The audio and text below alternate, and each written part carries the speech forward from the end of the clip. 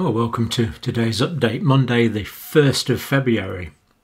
Now, I want to start off by looking at uh, fever and how we define fever. Just a little bit of um, bit of a scientific survey on that with very useful implications. And, and the theme probably today is that herd immunity is probably going to be slightly further away than we thought. We're still going to get there, I'm convinced of that, but it might be slightly further away than we thought. So let's get on to the detail for today. Now, this first study has got quite quite good uh, practical implication, really.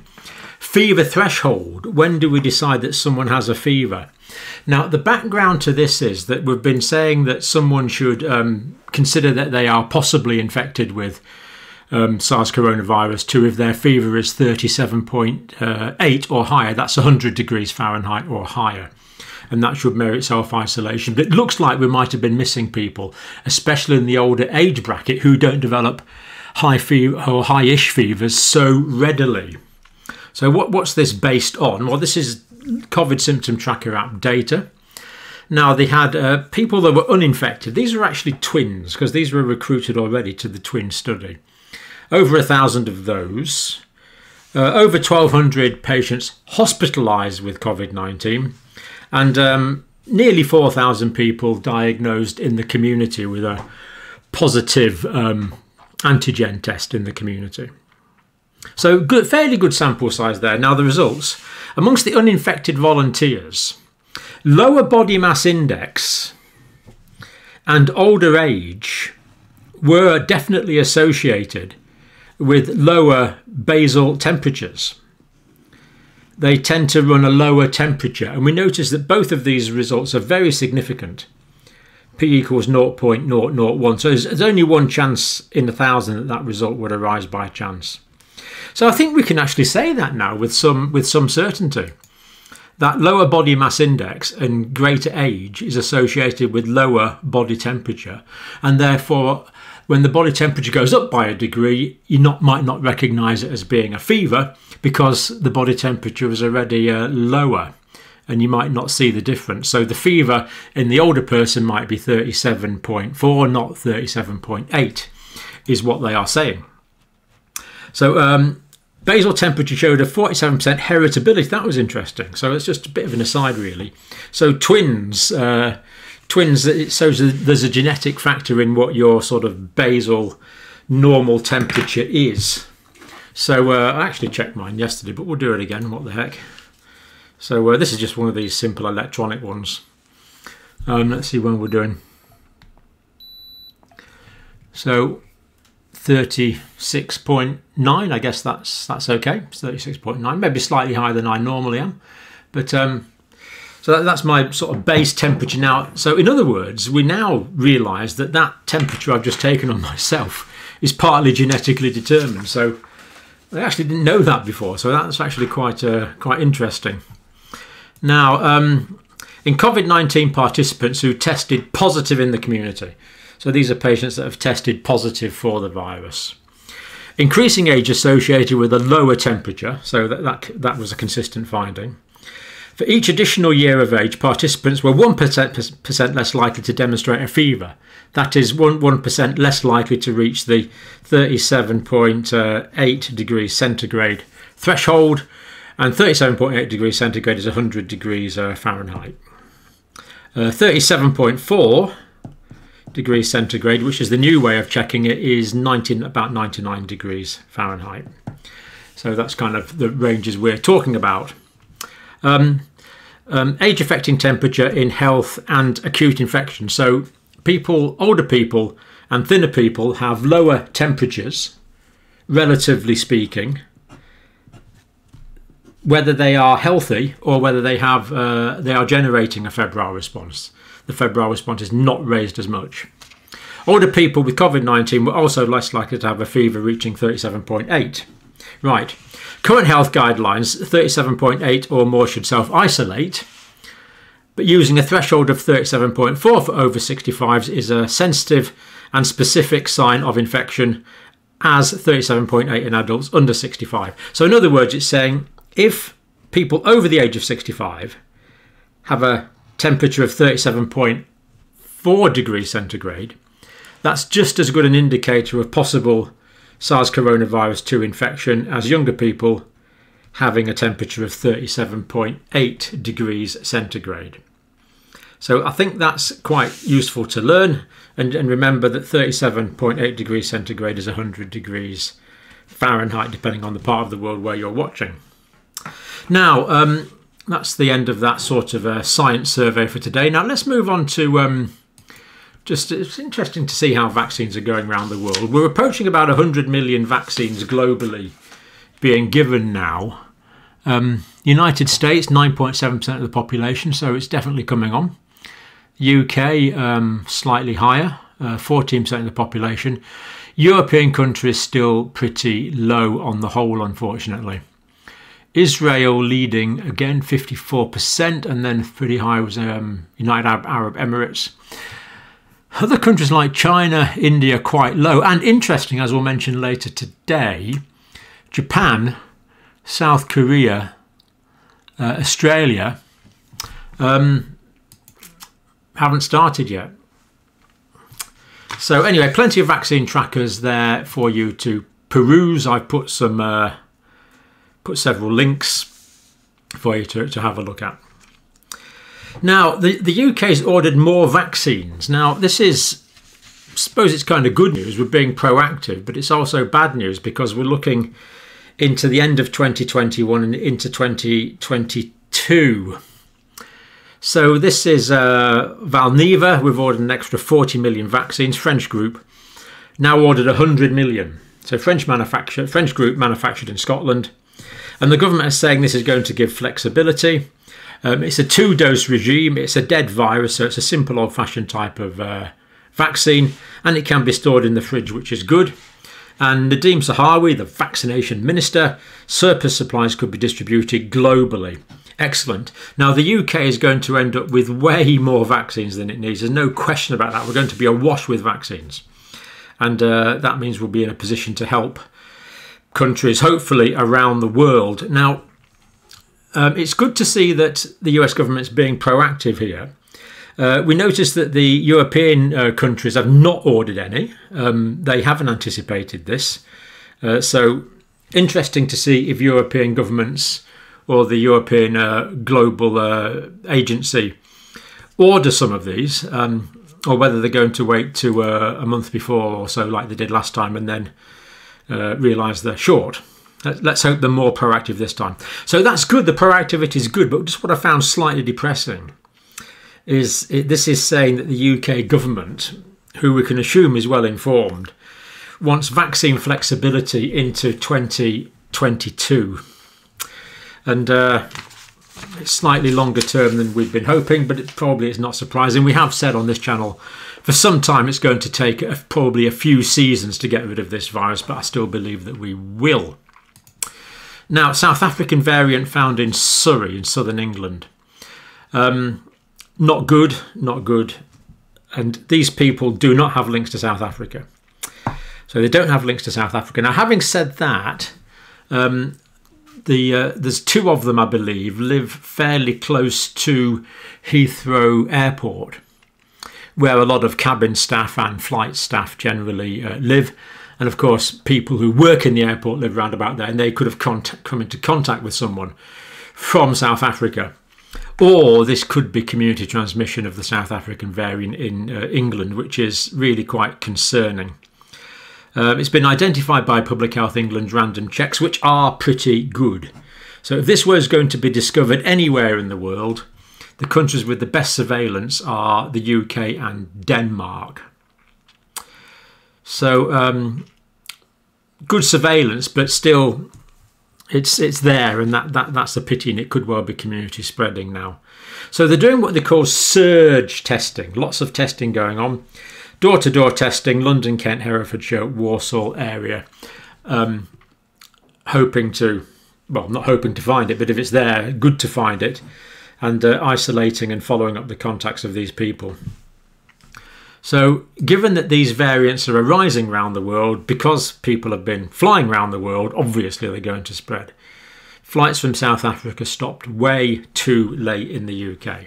Now, different country but same theme. Francis Collins uh, National uh, National Institutes of Health uh, director, medical doctor, researcher, does say he's worried about this. It's all going to take.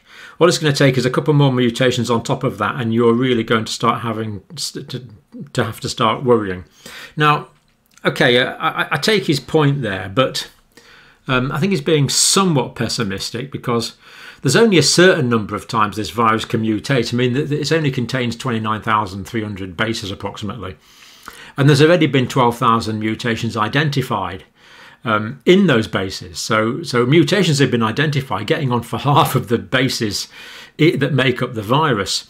And of course, most of those are mutated and then died out. So there's only a limited number of mutations will make the virus more transmissible or, or, more virulent. It's limited as to what it can do. But if Francis Collins is expressing concern publicly, then that, that is a concern in itself. Now, what he was worried about, I think, I think this is what he was worried about. We looked at this a couple of days ago. Novavax trial. Now, previously infected people did not provide full immunity to the new South Africa variant.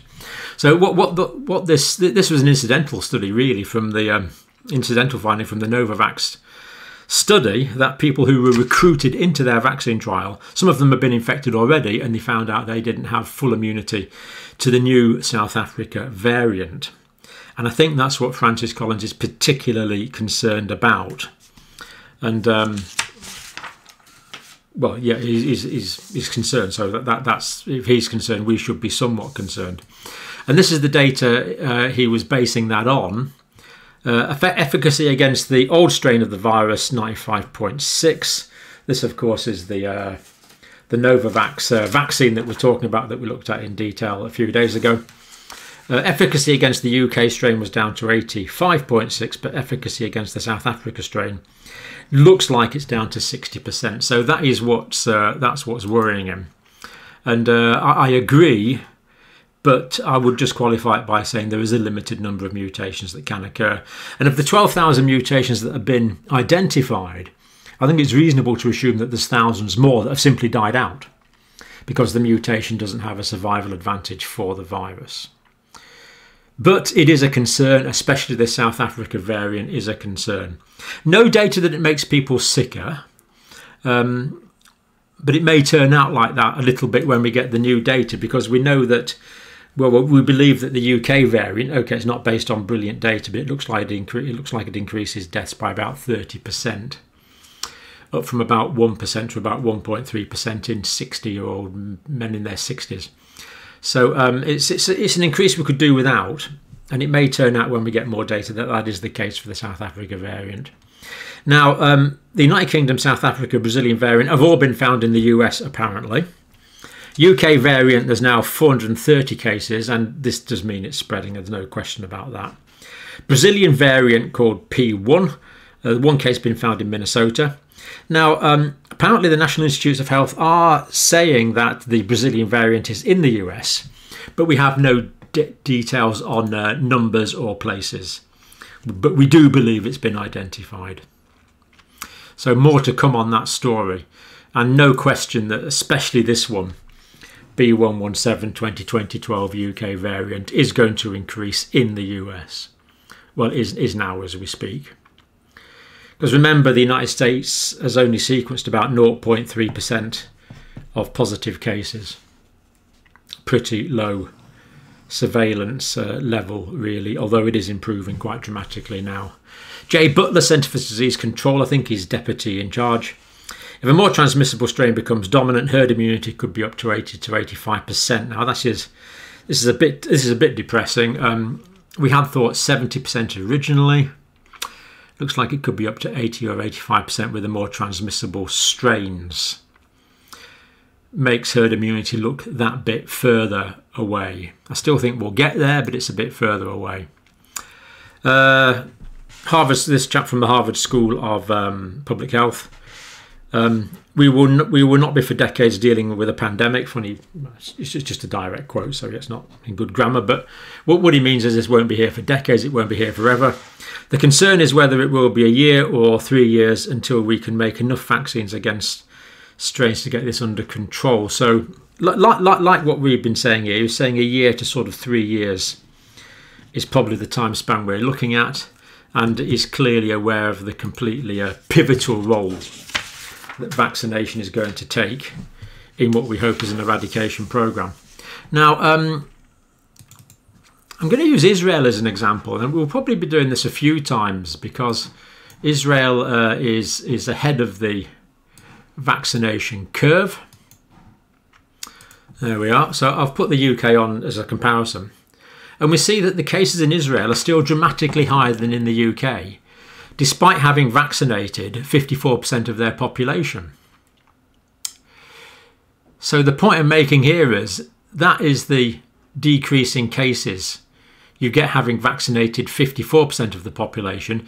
The UK has vaccinated 14% of the population, and we see that this reduction, therefore, is due to the non pharmaceutical, non pharmacological interventions of social distancing.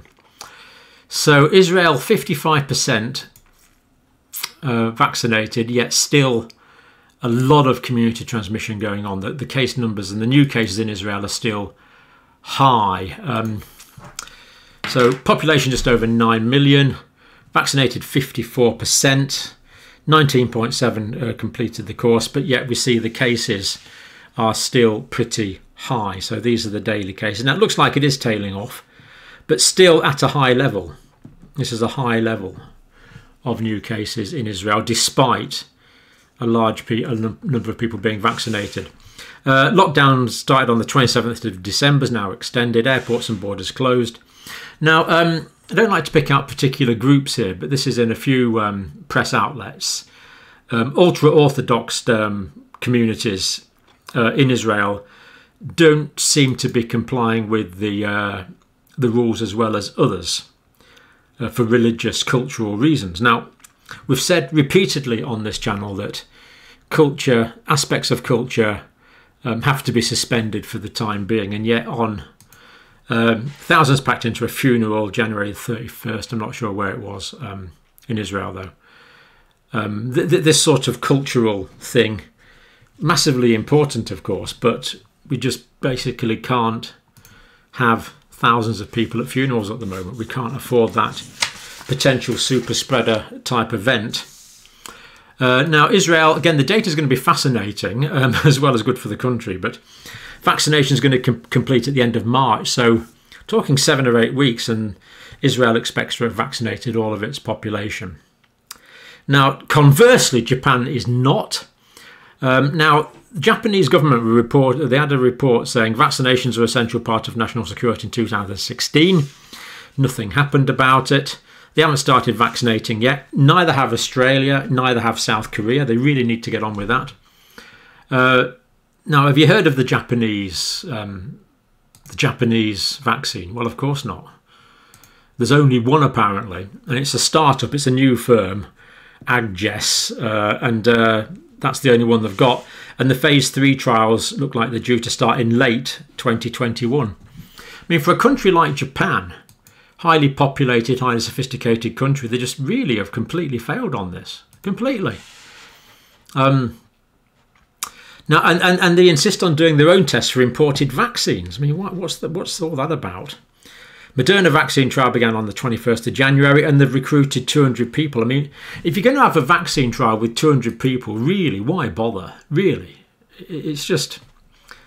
It's, it's, it's 200 people, it's essentially meaningless. Meaningless. I would have thought. It's just, you know, if you look at 30,000 that we have in other trials. Finishes on the 11th of March. Approval is likely to come in May. So, why on earth do they not just use the data from the UK and the US. We've got first class data from around the world. And yet the Japanese authorities are doing their own trial of 200 people. That just doesn't make any sense at all. Um, 50 million doses ordered of the Pfizer vaccine. Oxford AstraZeneca vaccine, um, a bit further on. The trials there started in September, I think it was. And this is going to be approved late February. Now, it will be approved in late February. So why not approve it now? You know, the, the data's there, it's all been done. Rolling data is available. Um, why, why, don't they ask the the, uh, the UK authorities or I don't know, I don't know, or the ask the European Medicines Agency? Even even they passed it last week. But um, huge delays in Japan. Uh, 90 million manufactured in the country when they eventually authorise it. Olympics in July, I don't think so. I really don't think so. Vaccination for the over 65s um, will start in um, April at the earliest in Japan. Not impressive at all from the Japanese authorities. Now, um, Portugal suffered badly over the past few weeks. Very high death rate, um, population only 10 million. UK variant is being blamed, and relaxation of restrictions over Christmas. That double whammy. Um, not too bad in the first wave, but they've had uh, 5,576 deaths out of a population of 10.2 million in January. That's the total number of deaths now. Hospitals close to being overwhelmed, probably are overwhelmed in places really and extra cold containers outside morgues in Santa Maria Hospital, always a remarkably bad sign. So, um, things we warned about, we, we warned about this uh, ages ago on this channel. Relaxing rules for Christmas, not a good idea. UK variant might spread, yes. And, and we're making the same warning now for the United States. The UK variant is spreading. Um, let's hope it doesn't spread as much as it's done in Portugal. Right, um, just a few things. Now, I'm sorry, I've been a bit, been a bit satirical here. I've, I've entitled this "Mental Health in the Pandemic." Um, now, this is, to be fair, mental health, of course, is a serious issue. We have looked at it, and um, we will look at it again. It's a, it's a huge issue in this pandemic. But I was being a bit satirical here. Uh, I mean things that are irrational. Guernsey one of the Channel Isles. I think it's a tax haven, I'm not sure. They had a dance festival the 19th to the 22nd of January in a big sports arena or something. Um, dance festival, 19th to the 29th of January, in the middle of a pandemic, indoors in January. Really? In the middle of a pandemic? Try and work it out for yourself. I, I don't get it. Mass spreader event, now 186 cases as far as we know, now in lockdown. I mean, really, a dance festival? I mean, anyway, it gets better. Um, th th this would be comical if it wasn't so serious. Um, French warehouse libertine party.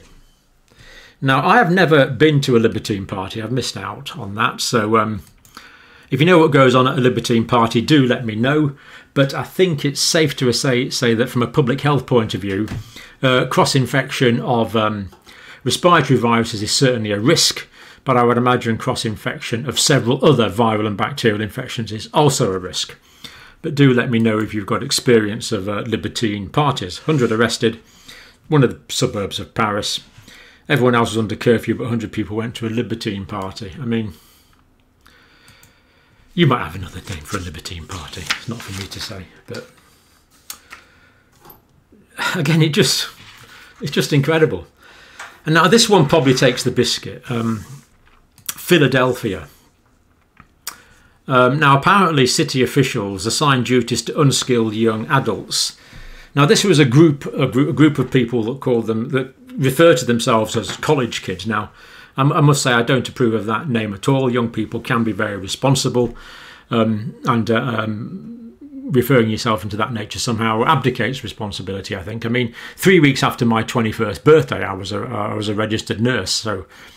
You know, when I was 18, 19, and all through my 20th year, I was working flat out at that. And you know, that, that young people can do can do this, um, but but in this case, they didn't seem to come up to the mark startup called Philly Fighting COVID, new business. Um, and apparently they were running in inverted commas the largest corona mass vaccination centre in the city. Appointments weren't honoured. It was described as being complete chaos. Some people apparently were just trying to make money out of it. Personal data, I don't know if it did actually be sold, but uh, it said there was a provision that would allow Philly Fighting COVID to sell users' personal data to a third party. I mean, what were the city officials thinking of? You've got a startup of young people, inexperienced, massively underqualified, who saw this as what? An opportunity to make some money? Uh, Why would the city officials give it to a, what is essentially a bunch of amateurs? Um, don't get it. You know, uh, these people are supposed to be running cities. Um, unskilled people vaccinating each other, apparently. Reports of vaccines being removed from the premises, just complete chaos, and, and people arriving for vaccines and, and it not being honoured. And um, people trying to make money out of this, selling personal data. You know, there's communities in the United States are really quite threatened by this vaccination program now. You know, you know, things like this are not going to help. But but for for city officials to apparently award, anyway, check check it out. The whole the whole article's there. read it for yourself. But it just, um, you know, you're reading this and you think, what? Right. Fine. Let's look at some pictures to finish. Okay, so this is Christine who got her COVID vaccine. Excellent. Pleased to hear it. I wish I had Christine. wish I had. Uh, Christine sent this in. She's a retired physician, I believe. So great to see that you are now protected largely, as you'll know, Christine, from serious illness. Great news. Vaccination. Uh, this is uh, David and Mum who are watching California. I wonder where they got the idea for a dog with a mask on. But glad to know you're watching. Um, I believe uh, son and uh, mother watch in uh, separate locations, but they watch together, so that is good news. I'll let you uh, make what you will of that. Thank you for saying that in, Freya. Good I think I appreciate that. I appreciate the sentiment, certainly. Thank you. And this is Osama sent this in from Morocco. Um, so I think I'm not quite sure what this is actually. I probably did know at the time, but I probably downloaded this. It looks like a testing centre. Looks like a testing centre, doesn't it, in Morocco? So good to see that organisation and things are improving in Morocco. Okay, that is us for today. Um, Slightly longer to go than we'd hoped, but uh, we will get there. And as we become vaccinated, more and more people become vaccinated, more and more people are going to be protected from severe disease. But of course, we carry on with all the same precautions as we have done for some time now, I'm afraid.